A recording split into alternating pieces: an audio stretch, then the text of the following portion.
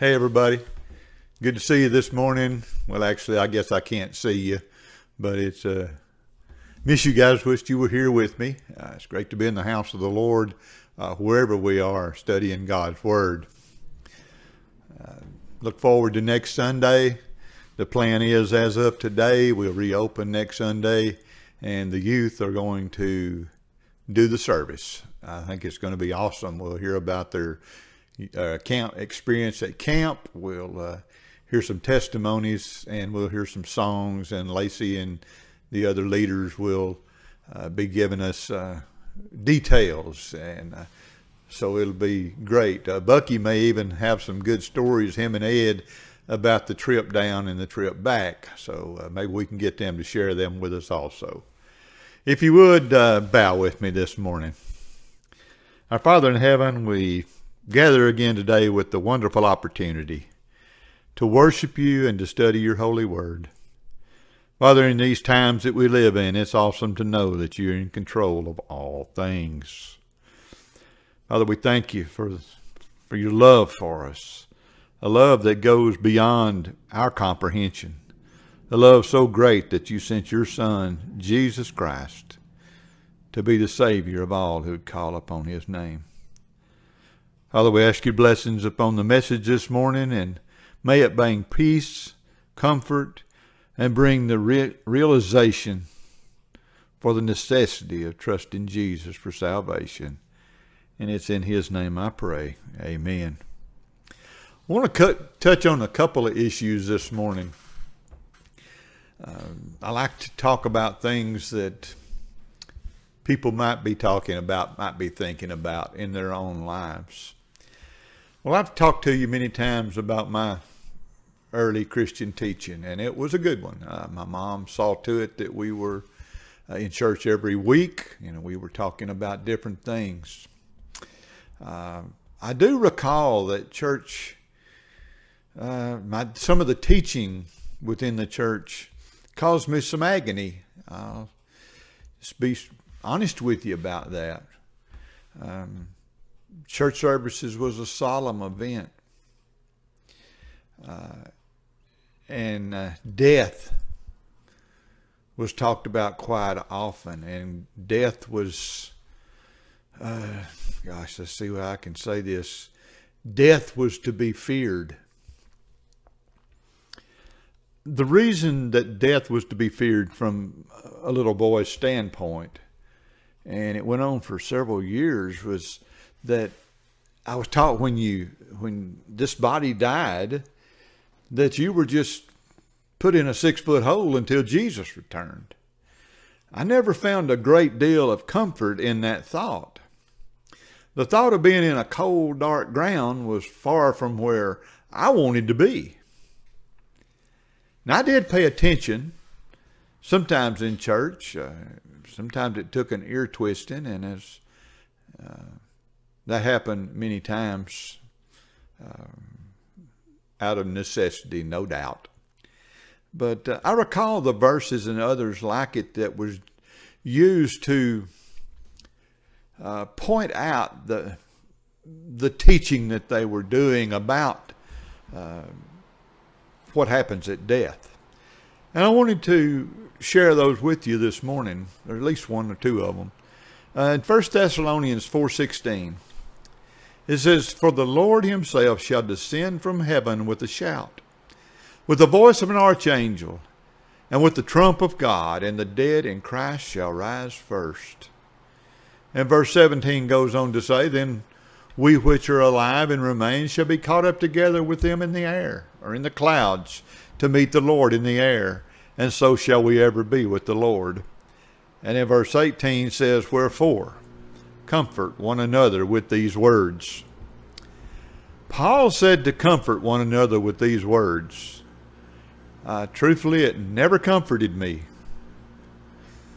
Paul is writing here to tell us exactly what's going to happen when the Lord returns. First, it's going to be obvious what's going on. When he returns, this shout and this trumpet of God that's going to sound is going to be unmistakable. You're not going to wonder what that was. Those that teach that the body and soul go into the casket use the dead in Christ shall rise first. And I'm going to come back to that in a few minutes. But let's take a look at what is going to happen on that glorious day when Jesus returns. Those of us who are still alive in the body and on this earth are going to witness something absolutely remarkable. We're going to see people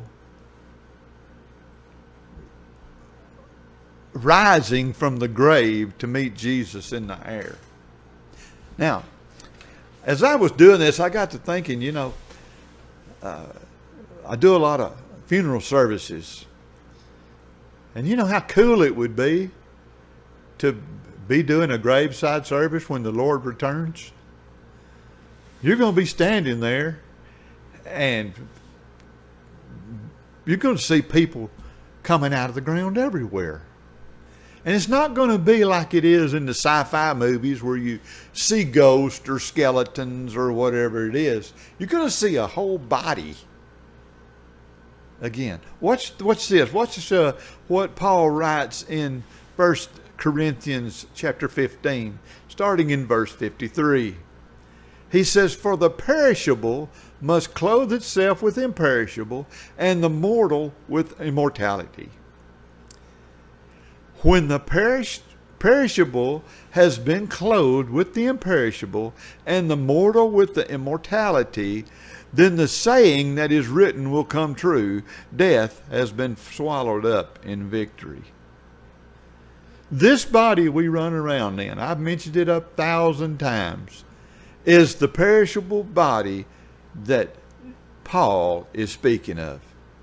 Like it or not, it dies a little bit each day. You can work out every day. You can eat vegetables only every day. And one day it's still going to play out. And it perishes. And it's put in the ground. And frankly, uh, it decays. It's no longer used. But on that great day, in an instant, it's going to become imperishable. Now, people may ask, and it's controversial in some circles, what about those that's been cremated? Well, I would ask those people, what about the Christians or anyone who has been uh, killed in a horrific explosion? those that were buried at sea, those that may have been uh, just what's the word I'm looking for is is they're in a horrific accident and there's nothing to be found. Well, the the easy thing, the easy answer to that, and it is an easy one, the God that created the heaven and earth, returning you and your body to human form only in its glorified state is not going to be a problem. Now, during phase two of this, which is going to happen almost simultaneously, is going to make the atheist and those who have never trusted Jesus for salvation, they are going to be really sick. The words, uh oh, doesn't do justice as to how they're going to feel at that instant.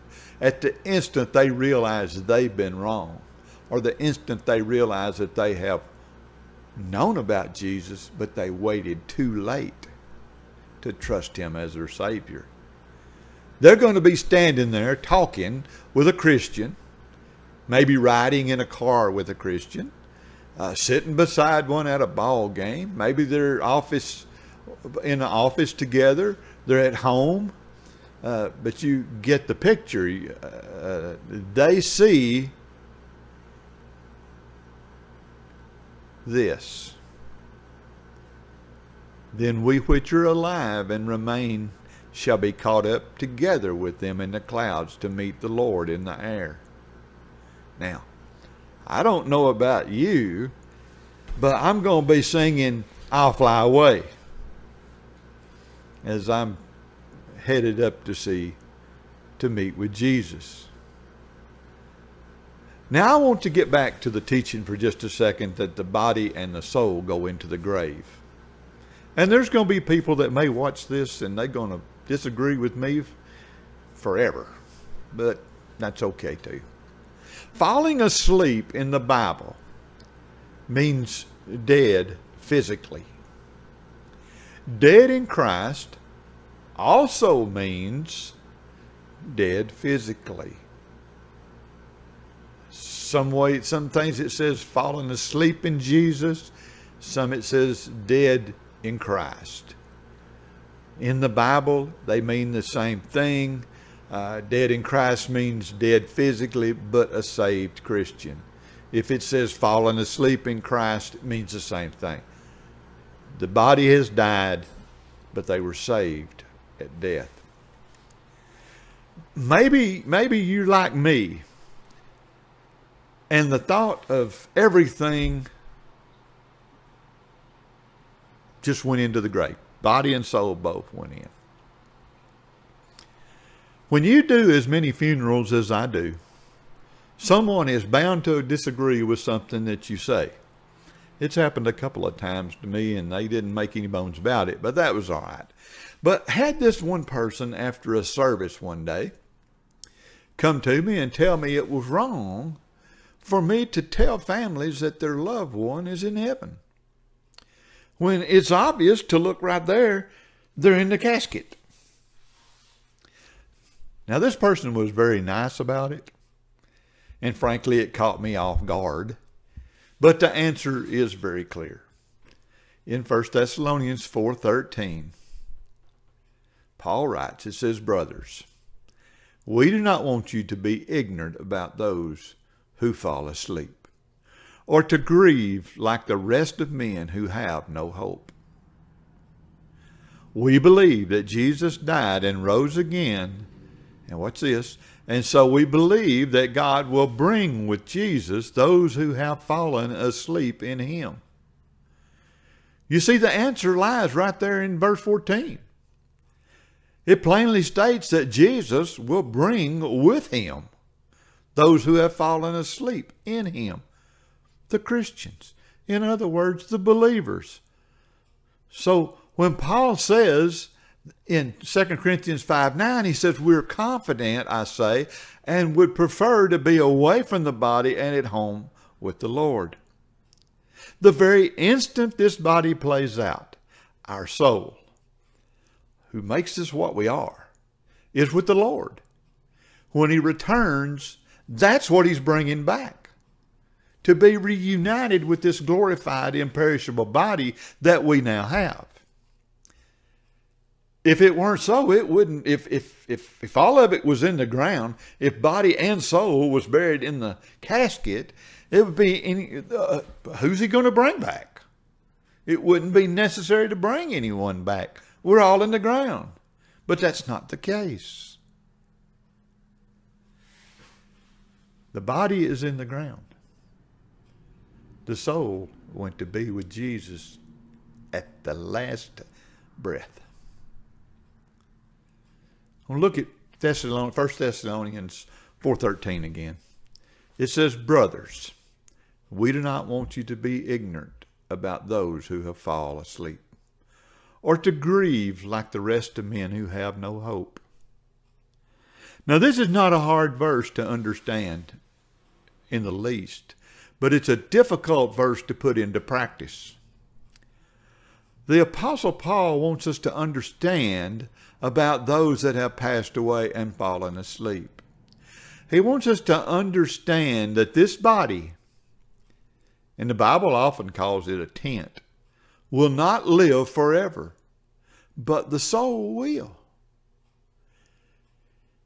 And he says that we should not grieve like the unsaved, for they have no hope. Now, in my little mind, that doesn't mean we shouldn't grieve over the death of a loved one because we are going to grieve over the death of our loved ones.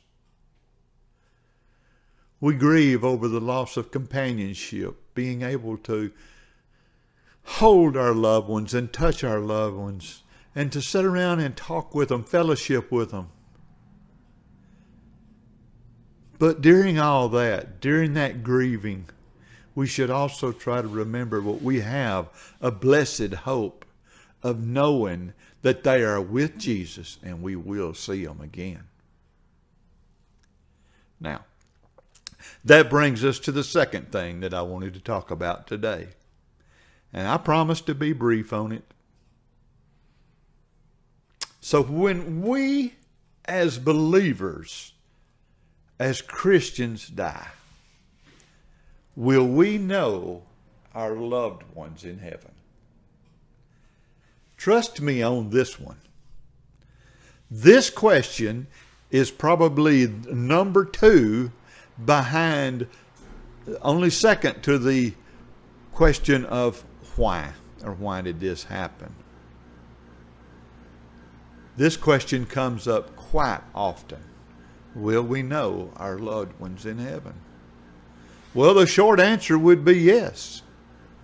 But let's put some biblical scripture and some examples along with it. The first clear example of that we're going to recognize people in heaven happened on resurrection morning. Mary Magdalene recognized Jesus after he had returned from the dead. She had gone to the tomb and saw it was empty. She was distraught at that what she found or didn't find. In John chapter 20, starting in verse 14, it, it gives the narrative on it. It says, At this she turned around and saw Jesus standing there, but she did not realize that it was Jesus. Woman, he said, why are you crying? Who is it that you're looking for? Thinking he was the gardener, she said, Sir, if you have carried him away, tell me where you have put him, and I will get him. Jesus said to her, Mary, what's this? She turned around toward him and cried out in Aramaic, Rabboni, which means teacher. Now, doubters will try to say that, well, she didn't recognize him at first. That's easily explained, at least it is in my mind. She was distraught, thinking that he had been stolen out of the tomb. She was surely weeping to the point that she could hardly even see, and she wasn't expecting Jesus to be standing there. And verse 16 says, when he called to her or called her name, she turned toward him and recognized him. So she was basically, maybe saw the gardener who she thought was the gardener out of the corner of her crying eyes, and she didn't realize who it was. But when he called her name and she turned toward him, she recognized it was Jesus. Now, Later on that same day, as we discussed a few uh, Sundays ago, on that resurrection day, he appeared to his disciples that very evening in the upper room where they had gathered. They had gathered there to try to figure it all out in their mind. And first thing they know is Jesus is standing in the room with them. In 1 Corinthians 15 and 6, it says, After that, he appeared to more than 500 of the brothers at the same time. And Paul writes, says, Most whom are still living, though some have fallen asleep. What he's saying at the time of his writing, that most who had seen Jesus alive were still alive. But he used the term, some had fallen asleep, or some had passed away goes on in uh, excuse me in verse 7 it says then he appeared to james then to all the apostles and last of all Paul writes this, and last of all, he appeared to me also as to one abnormally born. Now, what did Paul mean by abnormally born? Here's what he means he never quite felt worthy of meeting Jesus because he had once persecuted Christians. As much as he did for Jesus and the cause to spread the gospel, he never felt fully worthy, it doesn't seem. And in another instant that's been used many, many times, will we know our loved ones in heaven? In Luke chapter 16, is the story of the rich man and Lazarus. Now, as we remember, uh, the rich man was wealthy, Lazarus was poor. Uh, he just wanted crumbs off the rich man's table, if possible. But the rich man died, and Lazarus died. And now, get this even from hell, this rich man recognized Lazarus and Abraham in heaven. And we know the story goes on as he begged Abraham to send Lazarus back to tell his brothers that, hey guys, this is real stuff. Uh, you better trust Jesus. But that didn't happen. Abraham went ahead to tell him, said if they wouldn't have believed when they when Lazarus was on earth, they're not going to believe him now. Anyway, another example is is Peter, James, and John. They recognized Jesus, but they also recognized Moses and Elijah who had gone on years before.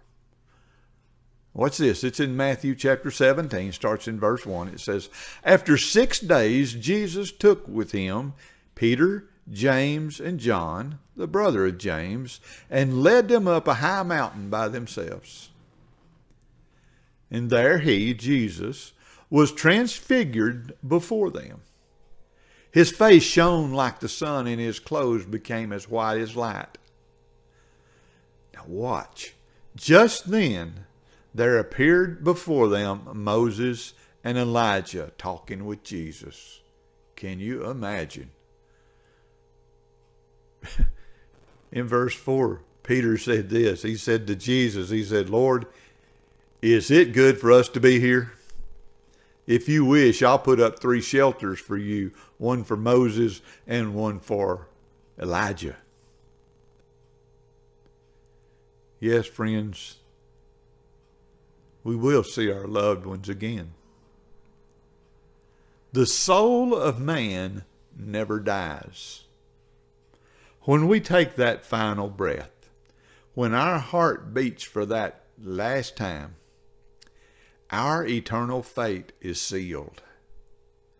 The decision to choose or reject Jesus stopped. And at the very instant of death, and you leave that body, you'll be greeted at the gates of heaven by the loved ones who have gone on before and there you will reside in the presence of the Lord forever. Now, to me, that has comfort written all over it. That gives me great hope for the future. That knowing that at some point, this whole body of mine is going to perish. I've mentioned the example sometimes I think of it like my truck that's parked outside. Assuming that I live long enough, that truck is going to play out. And that truck is nothing without somebody in it. So I ride around in that truck One day it's going to just play out. It's not going to run anymore. Now, I'm not going to die at the same time that truck does, hopefully. When that truck stops running, I'm going to step out of that truck. And I'm going to leave that thing behind. I'm going to continue to live. Same way with this body. When this body finally plays out, me, the soul that makes me me, is going to step out of it. Step right out of it, step into the arms of Jesus. I hope that comforts each and every one of you. If you would, if you bow with me. Father God, we just thank you for another beautiful day. We thank you for a great opportunity to come into your house to worship. Father, although we're doing it in a virtual world now, we know that we'll be back soon. We know that you have everything in control. We know that this virus will one day pass.